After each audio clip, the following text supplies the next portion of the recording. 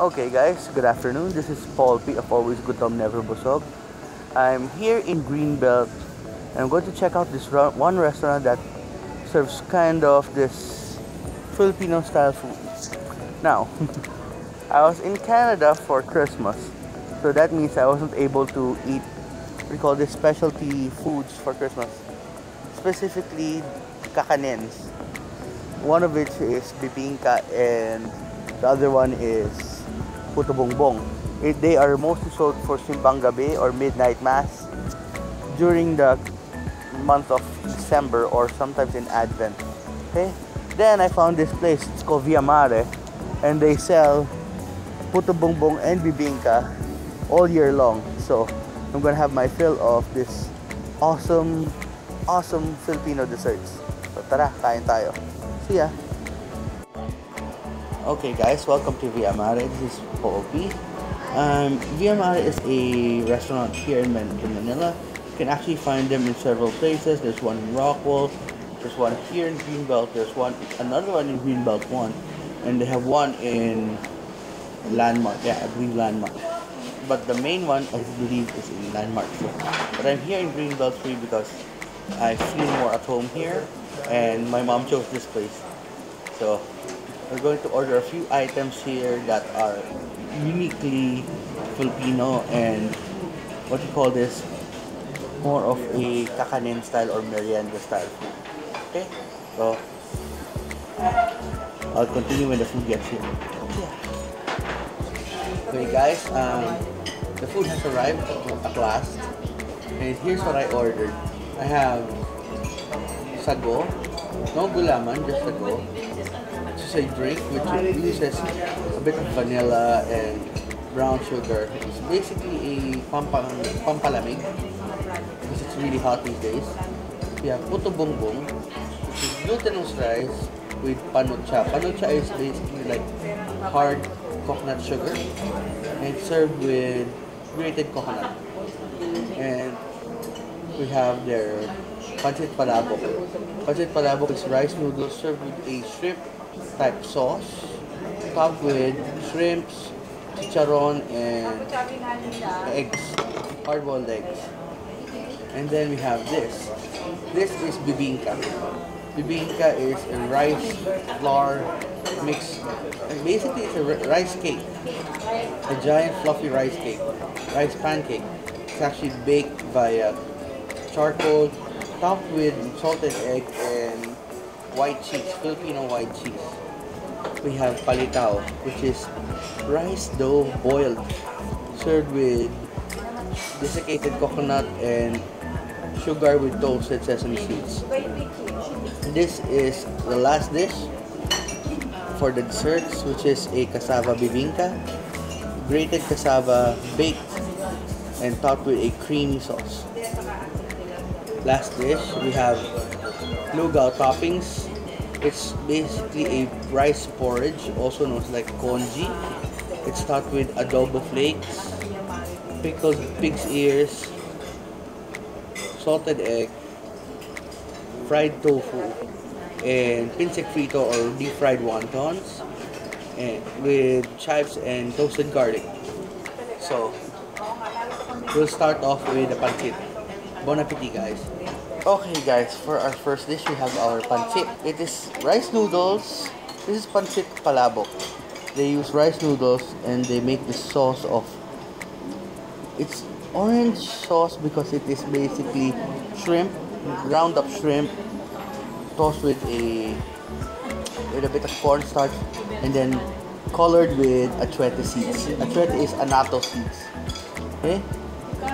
Then it's topped with shrimps, chicharon, hard-boiled eggs, and look at that. They have chives and they have a bit of pork in it. See? Oh, there's also squid. So, I won't mix it all because I just want to get a bite of everything. Look at that.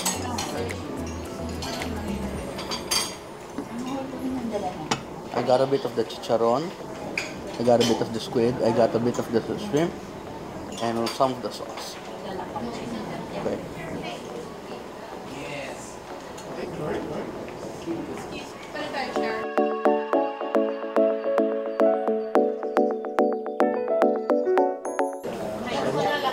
The pancit is good. There's a certain seafoody taste because of the shrimps. But the thing is, the shrimps are fresh. So flavor is really good. The chicharron is still crunchy. There, the noodles are, how do you call It's not al dente. There's no al dente in Tagalog, so technically it's al dente. But if you mix it all together, and if it needs to be a bit more flavorful, add a bit of calamansi. But for me, this is perfect already as it is. So, we go to the next dish because this is actually my mom's order. Okay.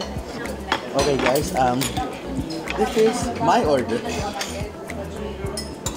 This is the lugaw toppings. You can see there is.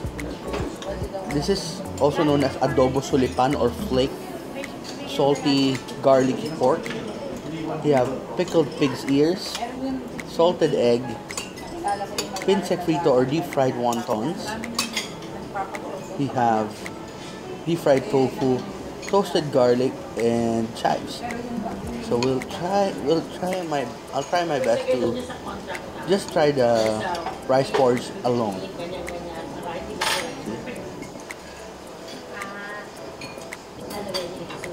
Okay. The rice porridge is not too salty, it's really gingery.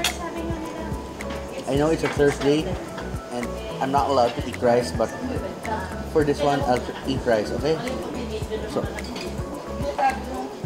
really flavorful.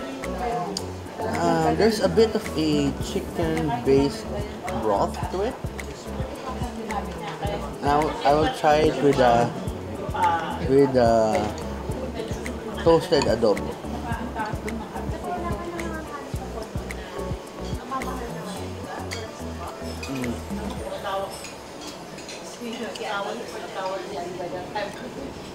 The saltiness of the adobo complements the porridge. It's really salty, but it's still good. We'll try some of the pickled pig's ears. This is a challenge to put on our spoon.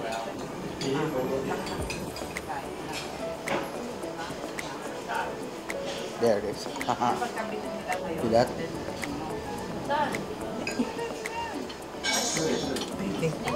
Okay. The pickled pig's ears are very tender. That means it's been braised for a long time. And I think that would be my favorite now. It's really garlicky. And it has a somewhat like a sisig kind of taste. Reminds me of sisig. Okay? So now we'll try the salted egg and some of the porridge.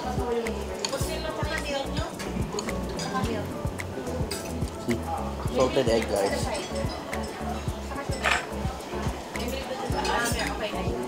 Okay. The egg yolk is kind of grainy. But the contrast of the texture of the salted egg yolk and the smooth porridge is really nice. Now we'll try the healthiest one here which is the deep fried tofu. Look at that. Yeah.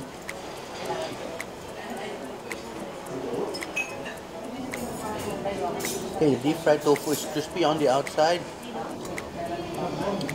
smooth in the middle. It's a bit. It, uh, it really goes well with the rice porridge. Now we will get one of the wontons or the yeah deep fried wonton.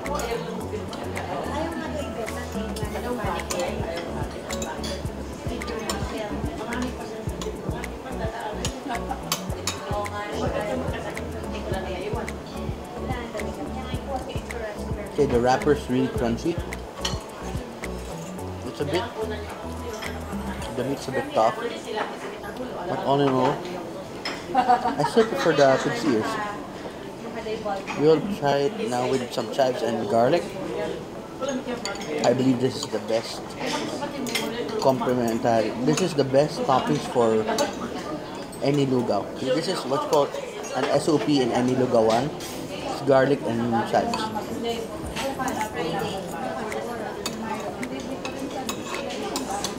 Now that reminds me of high school days when I used to eat lugaw in school. So I will continue with the other dishes and I'll get back to you later. This is my drink of choice. It's sagot gula. Sago.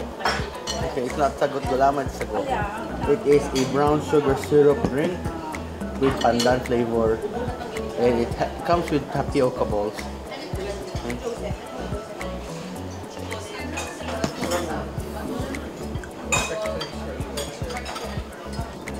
This is the best drink to have during the summer because it refreshes so much. Mm.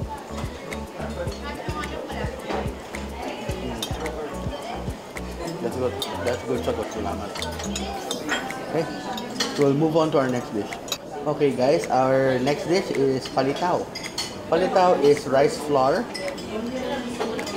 pounded with water and then it's like mochi, Japanese mochi. But this time we raw rice flour, we mix it with water and we make it into round shapes and we drop it in water. Now, when it's cooked, it will float. That's why it's called palitaw. Litaw in Tagalog or Filipino means to float or to show up. So, this is palitaw. It comes with desiccated coconut and toasted sesame seeds with sugar.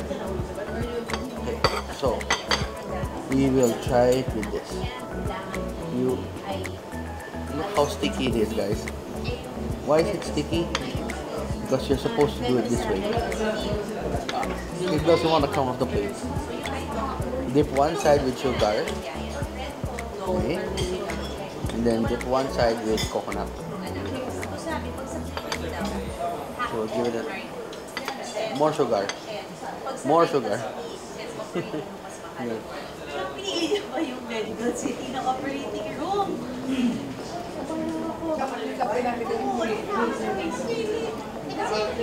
Okay.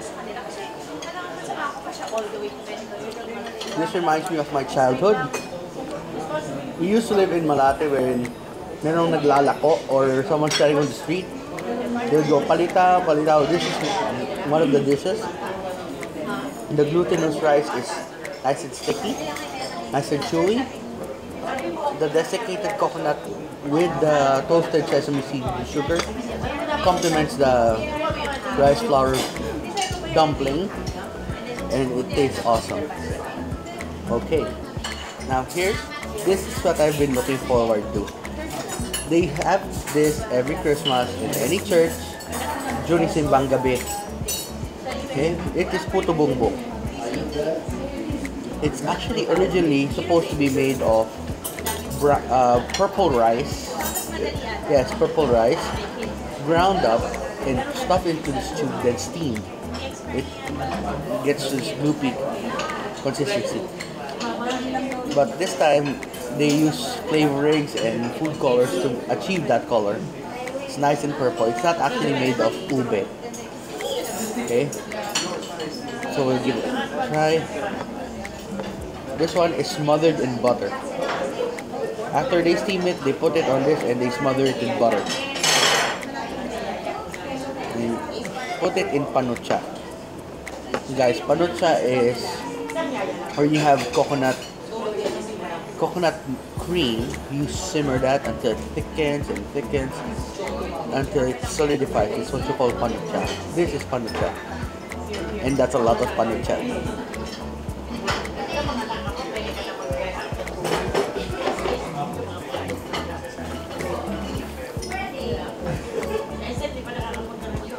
That's good panucha.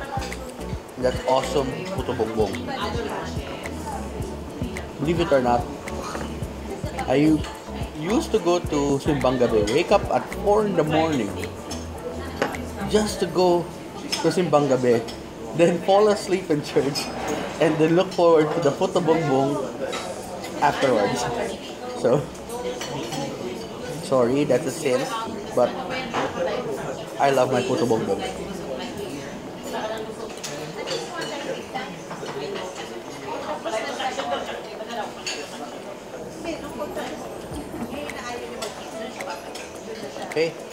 I'll move on to the next dish. which is another Christmas Christmas delicacy. This is bibingka. Bibingka is rice flour with egg, milk, sometimes coconut cream or coconut milk. Whisked together to a batter, then poured into this sir, call? Um, terracotta bowl with banana leaf at the bottom. See, there's banana leaf at the bottom. Put it in that. We did use parchment paper before. We used banana leaves before.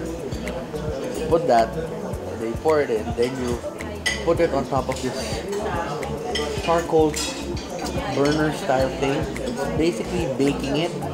We used it outdoors, so use charcoal at the bottom, then charcoal on top. So you get this uh, really toasted top and moist in the middle. Okay. Once again, this is a bit special. They use white cheese or quesong puti and salted egg on it.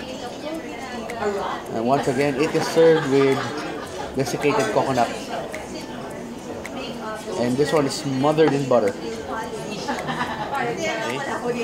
Okay. You look in the middle, guys. Wait, let me get a knife. Look in the middle. There's pieces of there's pieces of white cheese in the middle, and the fluffy rice flour batter, and toasted on top. You're supposed to eat this with the desiccated coconut, but I'm not a fan, so I'll just get a, bit of it and give this one a try.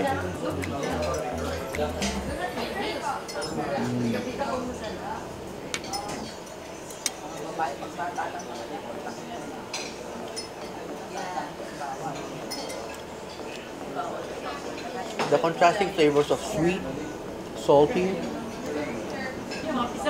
a bit of the, the cool taste of the coconut really makes this dish one of the best things to eat for Christmas. You can see guys, we have Nature's non-stick coating or parchment paper. Thank you, banana leaf. nice and toasted at the bottom, nice and toasted on top. With a lot of salted egg. Mm.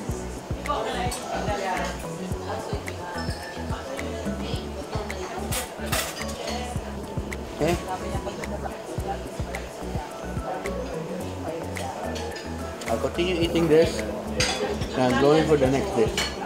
Okay. Okay guys, our next dish is is cassava bibingka. It's different from that kind of bibingka because it uses yuca.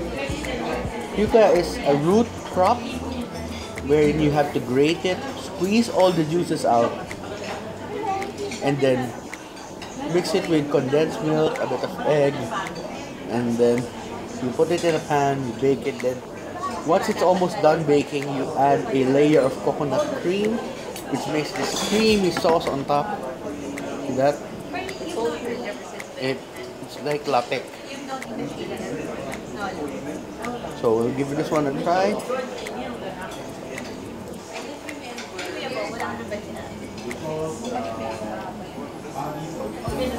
Okay. Scratch the puto bumbong, scratch the bibingka. This is my new favorite. The latik is so sweet, plus the sweetness of the cassava cake. No, the cassava bibingka. I'm going for a second bite. Sorry. I'm really going for a second bite. And once again, there is the banana leaf, which is our non-stick Filipino style. You can actually see some of the fibers of the cassava. See that?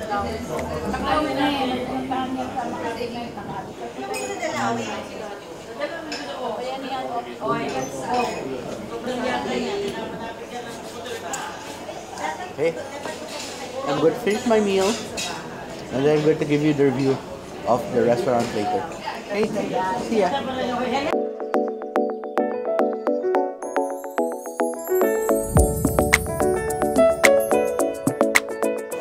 Guys, um, Okay guys, this is Paul P of Always Gutom Never Busog.